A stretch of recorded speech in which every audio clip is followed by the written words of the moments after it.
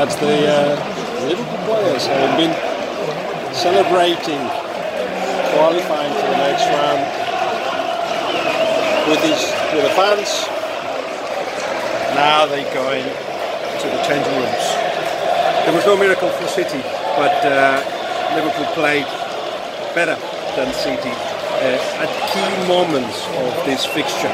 The first half an hour on the first leg, and the minute 55, it was interesting because uh, I was sitting with some of the uh, City people, and uh, we were saying minute 55, all of a sudden, coming from uh, half time, uh, we saw a City, I mean, was half time, um, a City that uh, seemed more tense, less liberated than they were in the first half. As if the tension had uh, already caught with them.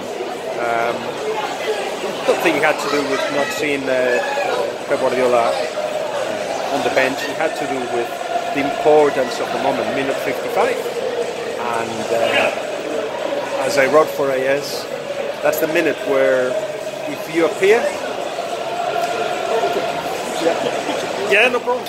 Are you, on? sorry, you face I am doing a little video, but. Top man. All right, Top cheers. Man. See you later. Um, if you actually appear, uh, they find it funny. See you later.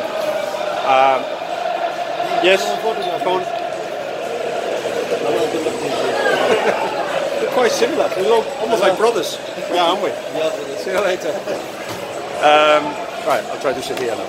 So, uh, that minute, 55. Uh, City had not able to kill it in the first half, even though, despite the early goal, they had most of the possession, they created the chances. But you have to say, in those moments where they had the opportunity to take, to take the, the fixture to their side, it just didn't happen. That, there wasn't that goal, uh, the away goal in the first leg, and that goal in the first half. Now, uh, in the 55 moment, 55th minute, what sensed is that whatever happened at that point, it was going to be crucial. So as I said, uh, and as I wrote in AS, uh, at that minute, if you appear, uh, you are in the core of the newspapers. If you do it in a big game, like today, you deserve a song. And if you actually do it very often, you get a book written about you. Uh, well, Salah has already been in many covers. He's got his own song. I think he now deserves a book because he's been extraordinary. He's in the flow, everything he does, uh, he actually becomes gold. And that's partly because he's at the right time in the right place, uh, because his uh, positive mind frame uh, makes him always look for opportunities. He doesn't go down, he continually goes.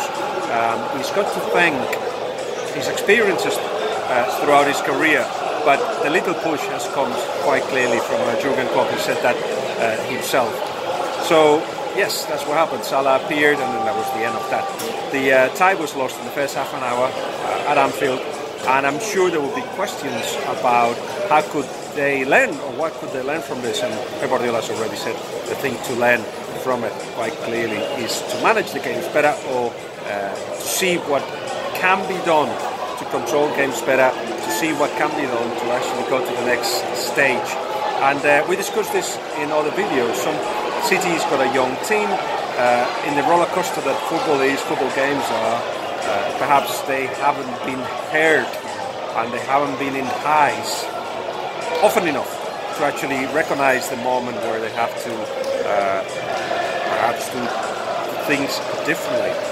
Fascinating uh, to see that uh, Liverpool, of course, uh, knowing that they did not need to control the games, they had a good opportunity to actually go through, and they've done it uh, because they sting like bees. They do exactly that, which is what obviously hurts not just uh, Manchester City but any team. Look at Barcelona, for instance. They've been knocked out as well by Roma. I haven't seen the game, of course. I've been here at the Etihad, but uh, I'll have a look at that. I said all all the way along this season that his, the squad is the worst in 10 years. I think uh, this result kind of proves that Uh, they depended all the time on Ter Stegen, on Valverde's decisions, and on uh, Messi. And for those things to happen at the same time, well, at the crucial moment it hasn't happened. And it's amazing to think that they have been out, knocked out in the quarterfinals in four of the last five seasons with Messi on the side. unbelievable. But here, well done, Liverpool. Let's see who they get in the next round. Uh, and for City, uh, this game, because it's the last one, will be uh, uh, will allow many to judge a season. But they are about to win two titles. The big one, the important one, was the, the Premier League. They had that as the main target this season, and to improve in the Champions League. Well, they've done so, but they still need to give another step forward. How would they do that?